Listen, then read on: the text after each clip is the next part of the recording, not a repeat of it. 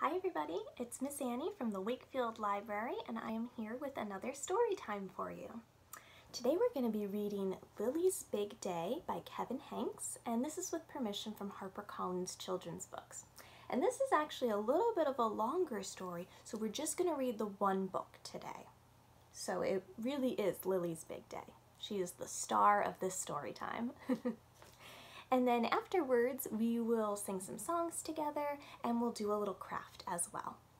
And for today's craft, we're gonna be making pop-up paper flowers. So these are pop-up because when you put the paper this way, you can see the flower pops up from it. So for this, you're going to need um, probably two pieces of paper. You are going to need a pair of scissors. You're going to need some tape or some glue and you're going to need something to color with um, if you're using white paper like I am. If you have colored paper, you can use that as well. So let's go ahead and get started. We'll begin with our song Hello Friends, and we like to use some American Sign Language for this one. So let's get started. Hello friends, hello friends, hello friends, it's time to say hello. Hello, friends. Hello, friends. Hello, friends. It's time to say hello. So next, I always like to wake up some body parts. And do you know what I like to start with? My hands. And do you know how I like to start? With a clap, clap, clap. So let's do that. Ready? We wake up our hands with a clap, clap, clap, clap, clap, clap, clap, clap, clap. We wake up our hands with a clap, clap, clap, and we wiggle our waggles away. We wake up our eyes with a blink, blink, blink, blink, blink, blink, blink, blink, blink. We wake up our eyes with a blink, blink, blink, and we wiggle our waggles away. We wake up our feet with a stomp, stomp, stomp, Stomp, stomp, stomp. Stomp, stomp, stomp. We wake up our feet with a stomp, stomp, stomp, and we wiggle our waggles away. Great job. So let's let's jump right into our story. Sound good? I'm gonna just slide my chair a little bit this way so you can see the book a little bit better.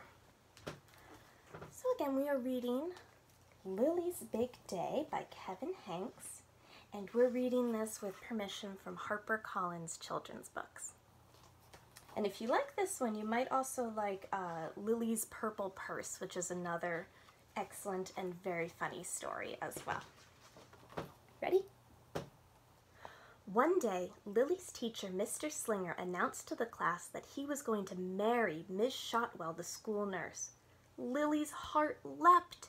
She had always wanted to be a flower girl. It will be the biggest day of my life, said Mr. Slinger.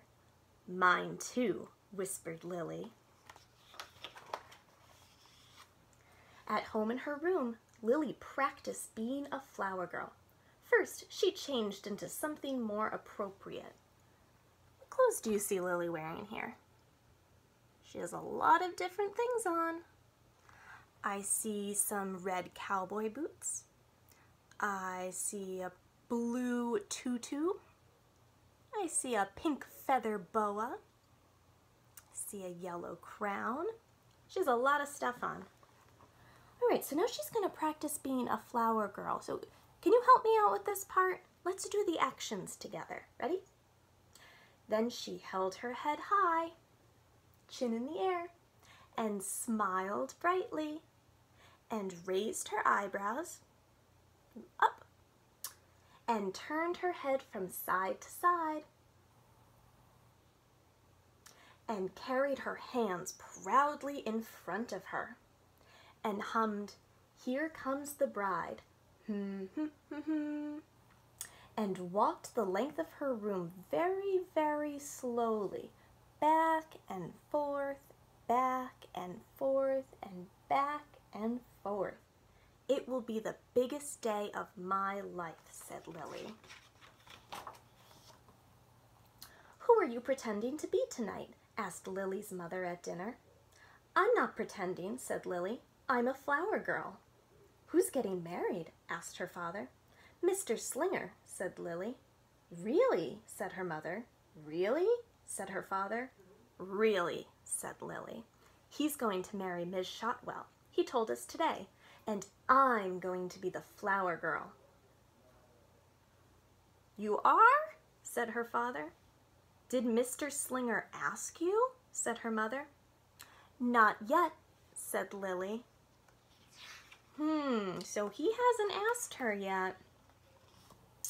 At bedtime, Lily's mother said, Lily, there are so many students in your class. Mr. Slinger couldn't possibly pick just one to be a flower girl.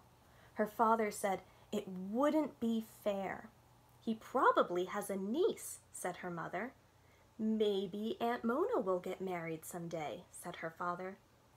Do you understand what we're trying to say? asked her mother. Lily nodded. Are you sure? asked her father. Lily nodded again.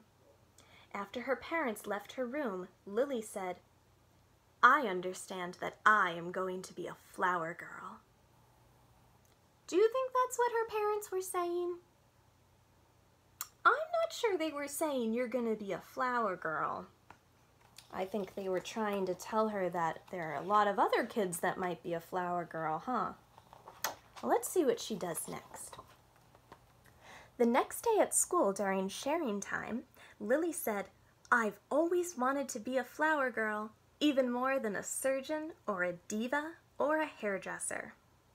The following afternoon, when Mr. Slinger had recess duty, Lily picked a handful of weeds from the edge of the playground. She carried the weeds proudly in front of her and walked very, very slowly past Mr. Slinger until the bell rang. Back and forth, back and forth, back and forth. And the morning after that, Lily went to the light bulb lab in the back of the classroom. She drew a self-portrait. Let's see what, what picture she drew here. Me, Lily, the world's best and most famous flower girl. And let's see, she put some arrows describing herself. She says, smart, beautiful, number one, better than the bride. And she thinks, this is the best drawing I've ever done in my entire complete life. Mr. Slinger called Lily up to his desk during quiet reading time. Lily, he said, I can tell that you want to be a flower girl, but unfortunately my niece Ginger is going to be the flower girl at my wedding. Lily's heart sank. But, said Mr. Slinger, I also want you to know that everyone in the class will be invited to the wedding. We can all dance together at the reception. It'll be fun. Lily's stomach hurt. This seems really important to you, said Mr. Slinger. Lily's cheeks turned pink. What happens when your face gets hot and sometimes your cheeks turn pink? Maybe feeling a little embarrassed? Mm. You know, said Mr. Slinger, I was just thinking that you might like to be Ginger's assistant. You could stand with her and keep her company until she has to walk down the aisle. You could make sure her dress isn't crooked and that she holds her flowers properly. Lily considered this. Hmm. You could remind her to walk slowly, said Mr. Slinger. Lily considered some more. Hmm. You could wear a corsage, some flowers, said Mr. Slinger. Oh, all right, said Lily, if you really need me so much. So she's going to be an assistant to the flower girl now. Lily tried to get excited about being Ginger's assistant. Weddings wouldn't even exist without flower girl assistants, she told her baby brother Julius. I have a special responsibility, she told her parents. When her Grammy took her shopping for a new dress for the wedding, Lily told the clerk, a flower girl assistant is very important. Important and glamorous. Fancy, very nice. But when it really sank in that she would not be walking down the aisle carrying a bouquet with everyone watching, Lily pretended that her teddy bear was Mr. Slinger. She made him sit in the uncooperative chair. You can just stay there forever, she said. As the wedding drew near, Mr. Slinger counted down the days on the chalkboard. One day closer to the biggest day of my life, he would say. One day closer to the biggest day of Ginger's life, Lily would whisper.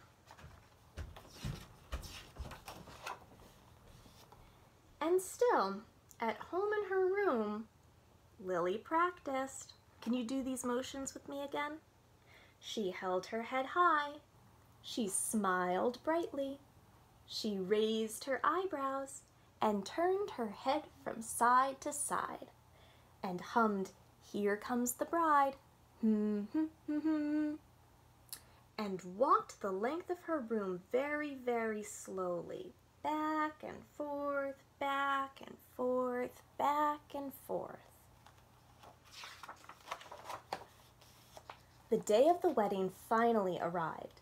Lily hoped and hoped that Ginger would have pink eye or a bad fever and not show up. But she was there there's Ginger. And she was all ready. Her dress was straight and she held her flowers properly. Are you sure you want to do this? said Lily. Yes, said Ginger. Are you sure you're sure? Yes. Are you really sure you're sure? Lily hoped and hoped that Ginger would change her mind. But she didn't. It was time for the ceremony to begin. The music swelled. Everyone stood. The moment came for Ginger to walk down the aisle. Ginger didn't move. Mr. Slinger motioned her forward. Go, said Lily. But what happened? What's going on with Ginger? She's very still. She has big eyes. What do you think she's feeling?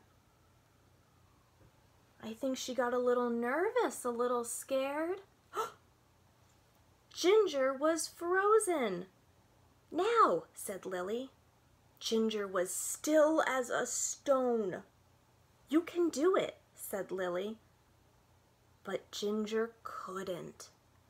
Everyone waited and waited and waited. No one knew what to do. Except Lily. What do you think she'll do? Let's find out. Lily scooped up Ginger and said, Here we go. Then Lily walked very, very slowly down the aisle. She held her head high and smiled brightly and raised her eyebrows and turned her head from side to side and carried Ginger proudly in front of her. So they're going down the aisle together.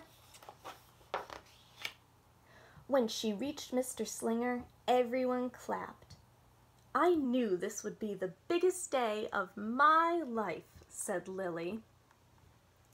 Lily was so excited she barely noticed the rest of the ceremony.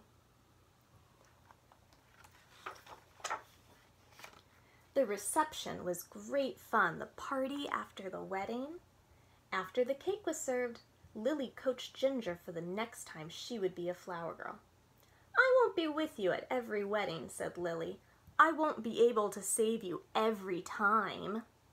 Together they walked back and forth, back and forth, back and forth, very, very slowly. Soon they were dancing.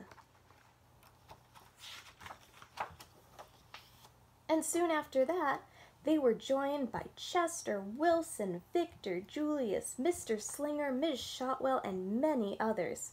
It's interpretive dance, said Mr. Slinger. We're doing the flower girl, said Lily. They're all holding their hands in front of them proudly, just like a flower girl. Lily's family stayed at the reception until Lily was perfectly exhausted. But there's something I have to do before we go, said Lily. She needed to find Ginger one last time. What do you think she'll have to say to Ginger? Let's see. And when she did, she said, Ginger, when I get married, you can be my flower girl. The end. So they ended up becoming good friends in the end, right?